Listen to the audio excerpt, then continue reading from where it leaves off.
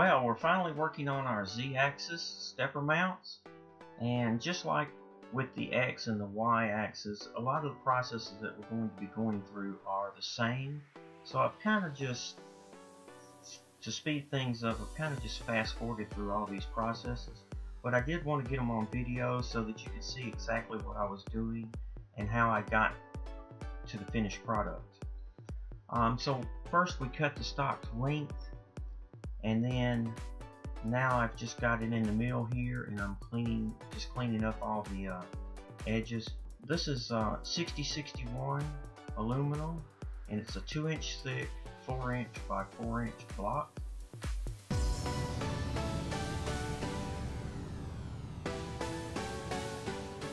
You can see me here measuring it and now I'm getting it to the final dimension here uh, on the mill Now, I'm pretty impressed with the Precision Matthews so far. Um, I've done quite a bit of manual machining and it seems to be working fine. Uh, I did blow a fuse at one point, but other than that I haven't had any issues. Uh, you can see here I'm running at about 600 RPMs and I'm taking a pretty aggressive cut here. This is about 60 to 80 thousandths and almost a full half inch width cut. So it, it does a really good job. I'm pretty impressed with the overall performance.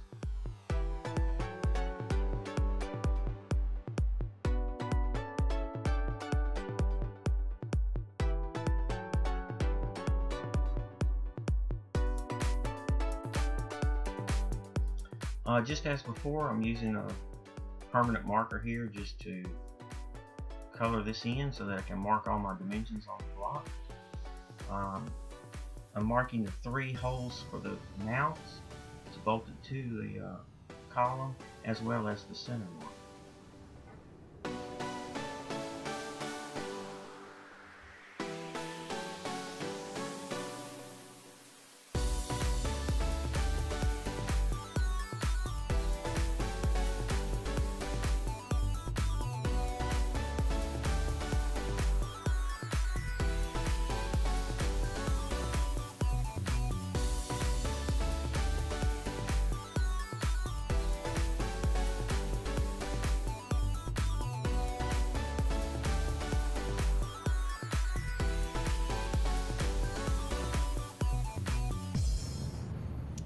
Okay, so I'm busy trying to figure out how to lay this out and get it just right.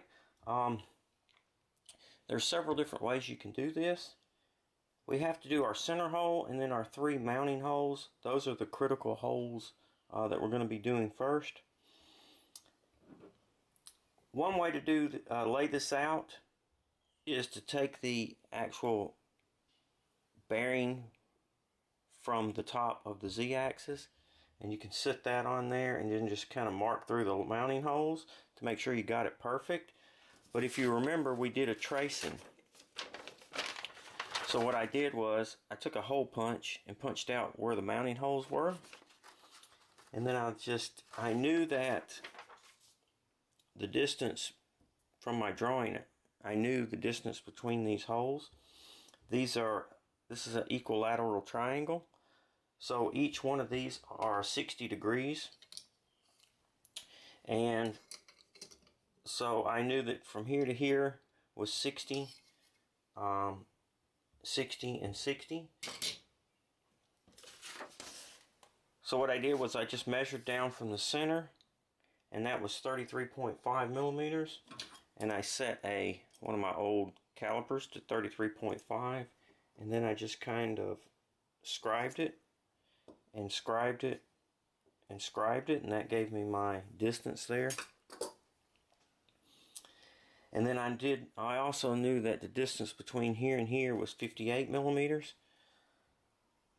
So with that I just marked from the center line 58 and made a mark. And then I went and took my tracing and laid it over here to see how close my measurements were.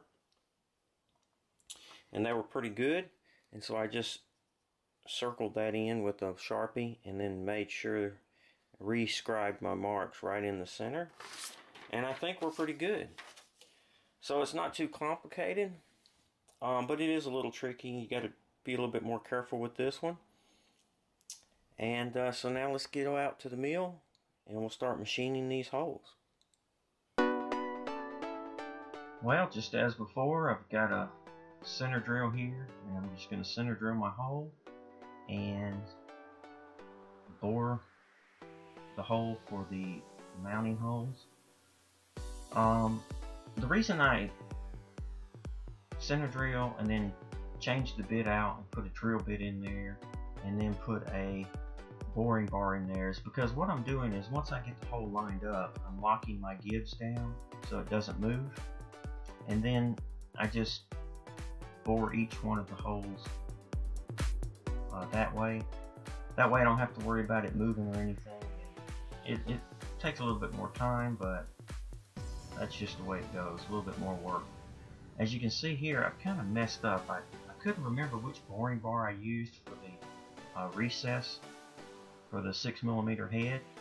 And it was actually a 3 8 inch boring bar set that I used to bar from not the half inch and so you can see here that's why I'm changing out different boring bars and I kind of got a one of the holes is just it's not going to look right because of that but it should be alright it's, it's just a an aesthetic thing. It doesn't really change the function of the hole at all.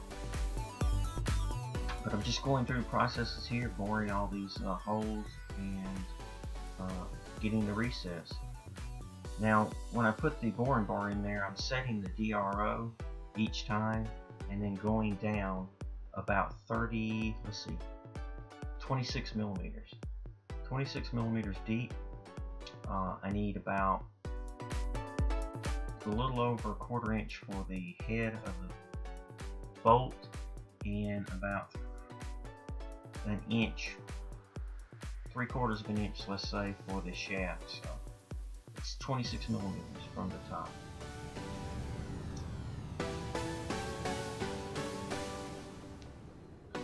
Alright, so now that we have our three mounting holes bored and counter bored, it's time to work on the pocket for the bearings.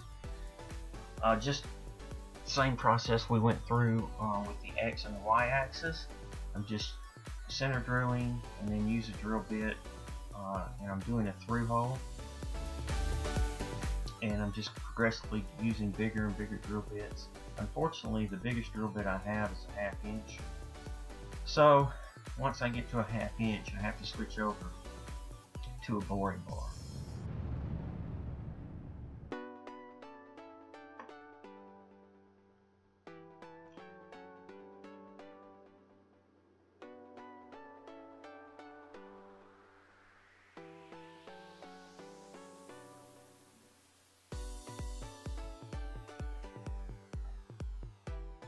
Started out with the boring bar just in the drill chuck.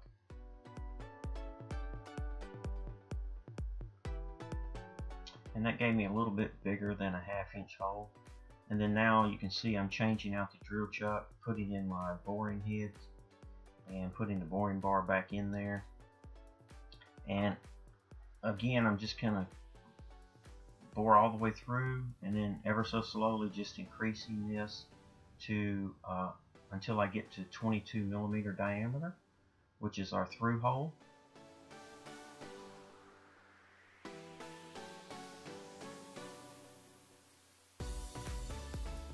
And I'm turning this turning the screw on the boring head about one turn each time. Uh, it's, it's not a really aggressive cut, but it's about more than I wanted to do. Um, through the whole process of building these mounts. I've, I've dulled one boring bar, maybe two, and I chipped, somehow I chipped carbide on one of them, which is my favorite one that I was using. So, I didn't want to take too aggressive cut here. So now that I've finished up the through hole here, looks pretty good now. I think this is the last pass here.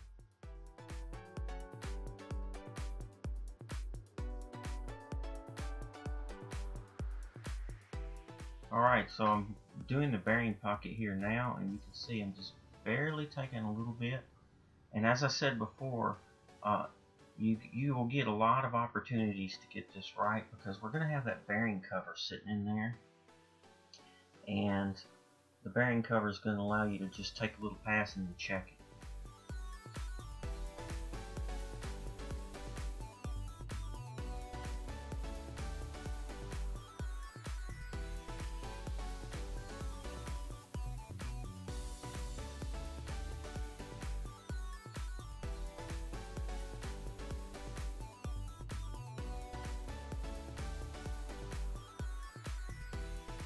the bar the boring bar that I was using wasn't giving me a smooth finish, so I had to change it out here for this last pass. I wasn't really happy with it. Here I am, yeah, getting it set up. Wasn't happy with that boring bar either. It wasn't giving me a smooth finish. Like I said, I went, I dulled out several boring bars through this whole process. So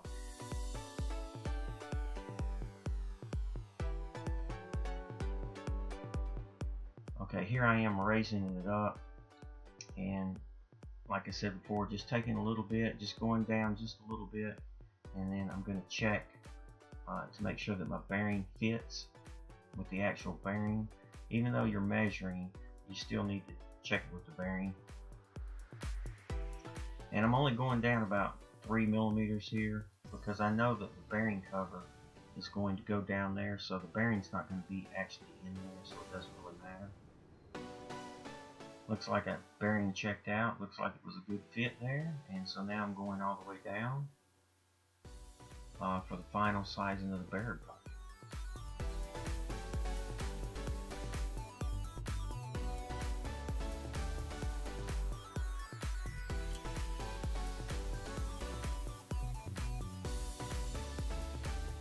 And this bearing pocket actually turned out really well. It's good. Thumbs up there. And uh, you can see my little mistake here on the mounting hole. So thanks for watching the video. Please feel free to comment if you have any questions. Thumbs up if you liked the video. Please subscribe. And most importantly, be safe.